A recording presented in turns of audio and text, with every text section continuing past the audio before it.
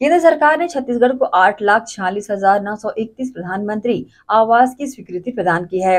इसे लेकर मुख्यमंत्री विष्णुदेव साय ने कहा कि प्रधानमंत्री आवास योजना गरीबों के कल्याण की योजना है। पूर्ववर्ती भूपेश बघेल सरकार में राज्य के 18 लाख परिवार वंचित हो गए थे। बघेल सरकार ने गरीबों का हक सिर्फ़ इसलिए छीना था क्योंकि इस योजना में प्रधानमंत्री के नाम का ज़िक्र था। मुख्यमंत्री विष्णुदेव साय ने उप मुख्यमंत्री विजय शर्मा, दुर्ग विधायक गजेंद्र यादव के साथ केंद्र सरकार द्वारा प्रधानमंत्री आवास योजना के तहत प्रदान की गई स्वीकृति को लेकर मुख्यमंत्री आवास में प्रेस को संबोधित किया। मुख्यमंत्री विष्णुदेव साय ने कहा कि छत्तीसगढ़ के लिए ये खुशी की बात है। पिछले पाँच साल में कांग्रेस की सरकार में प्रधानमंत्री आवास से वंचित लोगों तक हम अपनी बात पहुंचाना चाहते हैं।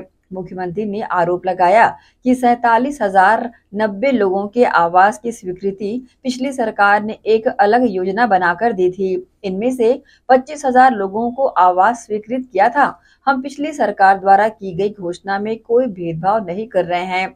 इसमें भी बचे हुए लोगों को आवास योजना का लाभ मिलेगा। और आज छत्तीसगढ़ के लिए बड़ा ही खुशी का विषय है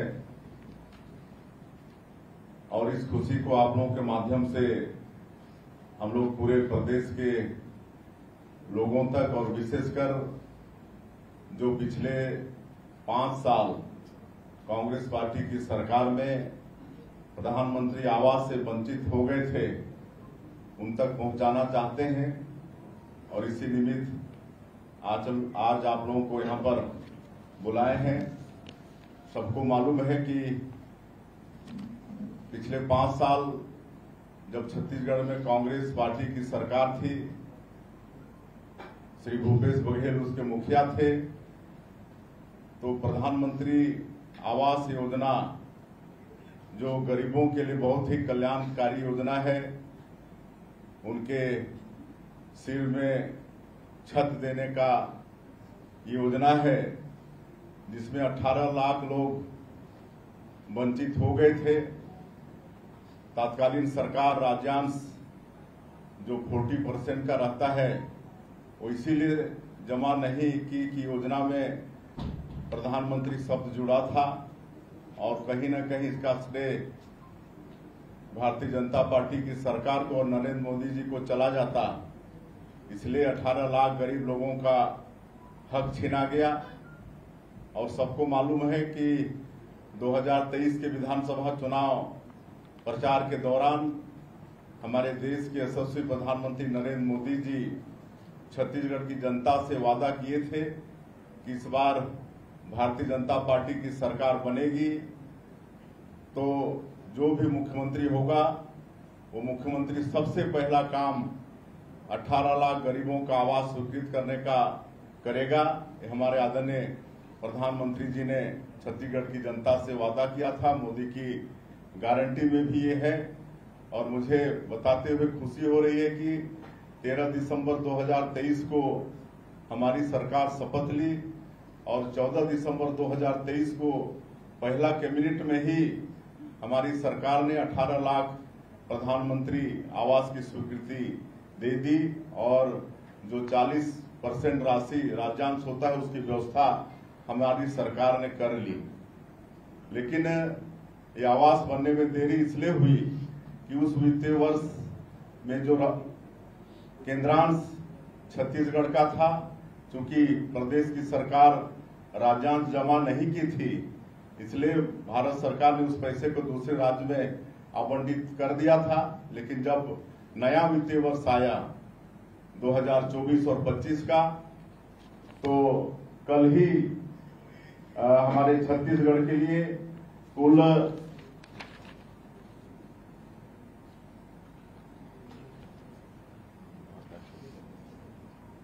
कुल आठ लाख छियालीस हज़ार नौ सौ इकतीस प्रधानमंत्री आवास की स्वीकृति भारत सरकार से मिली है और इसके लिए पूरे छत्तीसगढ़ की तरफ़ से, छत्तीसगढ़ की तीन करोड़ जनता के तरफ़ से और विशेषकर प्रधानमंत्री आवास से जो लाभान्वित होंगे, सबके तरफ़ से हमारे देश के यशस्वी प्रधानमंत्री श्री नरेंद्र मोदी जी को बहुत बहुत उनको धन्यवाद करते हैं, उनको साधुवाद करते हैं।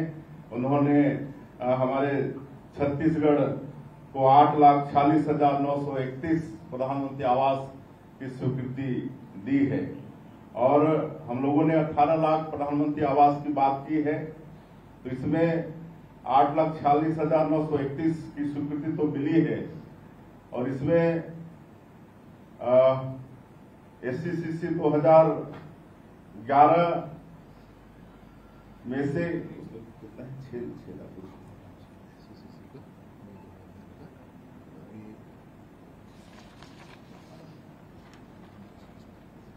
एससीसीसी 2011 जिस जिस सूची के लोग पिछले पाँच साल में वंचित हो गए थे और सिर्फ़ छत्तीसगढ़ में ही वंचित हो गए थे बाकी सभी प्रदेशों में एससीसीसी 2011 के सूची वाले प्रधानमंत्री आवास से लाभान्वित हो गए थे, लेकिन यहाँ की सरकार की निष्क्रियता के कारण या मतलब नहीं करवाने के कारण वंचित हो गए थे। तो आज जो हम लोगों को आठ लाख चालीस हज़ार नौ सौ इकतीस प्रधानमंत्री आवास की स्वीकृति मिली है, उसमें से छह लाख निन्यानबे हज़ार तीन सौ इकतीस प्रधानमंत्री आवास, ये दो दो हज़ार एस सी दो हज़ार ग्यारह वाली सूची में से हैं। और बाकी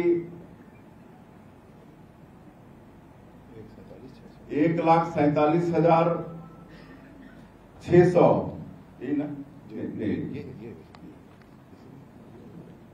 हाँ एक लाख सैतालीस हज़ार छह सौ। ये जो आवास प्लस वाले हैं आवास प्लस जिस प्रदेश ने एससीसी से 2011 की सूची वालों को प्रधानमंत्री आवास का निर्माण करवा दिया उनके यहाँ आवास प्लस भी शुरू हुआ। तो हमारे यहाँ तो एससीसी से 2011 के लोग ही लाभ नहीं ले पाए थे तो आवास प्लस का तो प्रश्न ही नहीं उठता था। लेकिन आज एक साथ एससीसी से 2011 का छह लाख निन्यानवे हज़ार तीन सौ इकतीस और उसके साथ ही साथ एक लाख सैतालीस हज़ार छह सौ ये आवास प्लस वाले हैं, जिनकी भी स्वीकृति छत्तीसगढ़ को मिली है। और बाकी पीएम जनमन योजना जो पीवीटीजी लोगों के लिए है, विशेष पिछड़े अनुसूचित जनजाति के लोग जो राष्ट्रपति के दत्तक पुत्र कहे जाते हैं, जैसे कोरवा, बिरहोर अबुजमाड़िया पंडो, बैगा, इनके लिए जो पीएम जनमन योजना हमारे प्रधानमंत्री जी चला रहे हैं, उसमें चौबीस हज़ार चौसठ ये प्रधानमंत्री आवास बन रहा है, बहुत पूर्ण भी हो चुके हैं। और आप लोगों को ये भी हम बताना चाहेंगे कि पिछली कांग्रेस की सरकार ने जब विधानसभा का चुनाव आया तो एक प्रधानमंत्री आवास योजना का शुरुआत किया था, जिसमें सैतालीस हज़ार नब्बे लोगों की स्वीकृति दी थी उन्होंने, और एक किस्त भी जारी किया था पच्चीस हज़ार का। हम लोग कोई भेदभाव नहीं करते हुए उनको भी अपने आवास योजना में शामिल कर लिए हैं। और दूसरी किस्त जारी कर दिए हैं और तीसरी किस्त भी उसमें जारी कर रहे हैं।